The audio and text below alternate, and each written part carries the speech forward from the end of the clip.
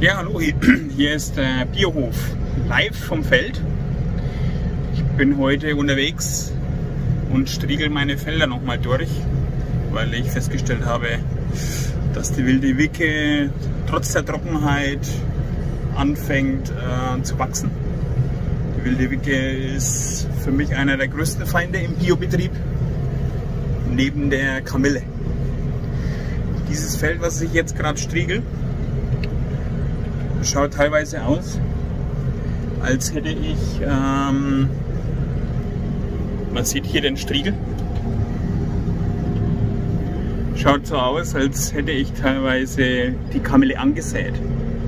Und man sieht vom ursprünglichen Getreide, in dem Fall ist es Dinkel, der Urweizen, der sogenannte Urweizen, der sehr beliebt ist bei den Bäckern und bei der Bevölkerung, weil mittlerweile so viele Menschen Allergiker sind. Und von daher ist es ein Produkt, was meistens ganz gut vermarktbar ist, aber die Qualität muss passen. Und bei dem Feld hier,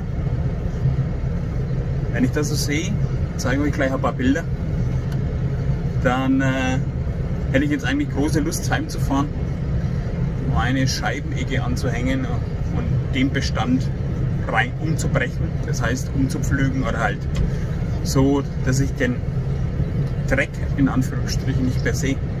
Natürlich ist es toll für die, für die Natur und für die Vögel und für die Bienen und alles, was sich da drin wohlfühlt. Aber ich mache nicht Biolandwirtschaft äh, nur aus Leidenschaft, sondern eigentlich muss ich auch ein bisschen Geschäftsmann sein.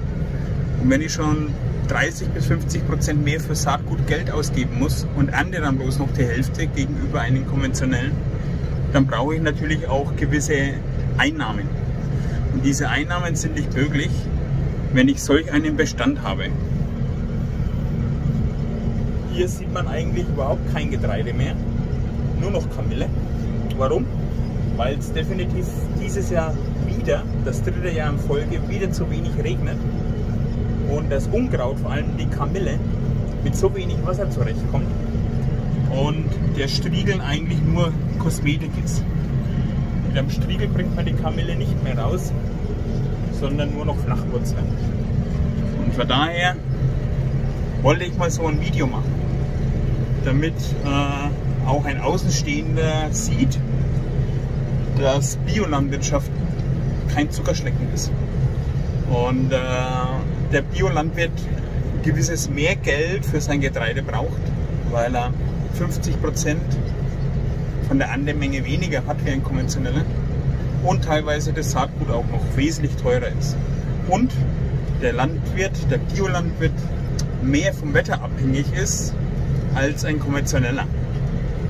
Ich bin mittlerweile der Meinung, obwohl ich seit über 15 Jahren Biobetrieb bin, dass ein gut geführter konventioneller Betrieb der bessere Weg ist für die Zukunft und Biolandwirtschaft auf lange Sicht meiner Meinung nach keine Chance hat. Keine Chance.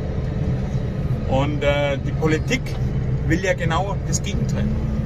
Die will die andere Richtung haben. Die will alles ökologisch, die will alles biologisch haben.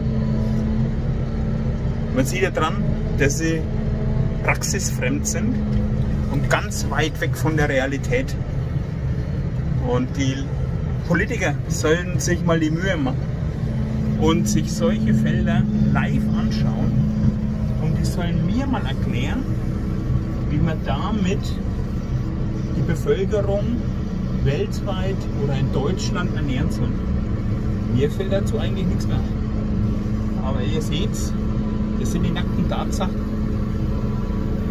Und ja, das wollte ich hier mit mal euch zeigen. Danke für die Zeit. Man sieht sich. Danke. Ciao.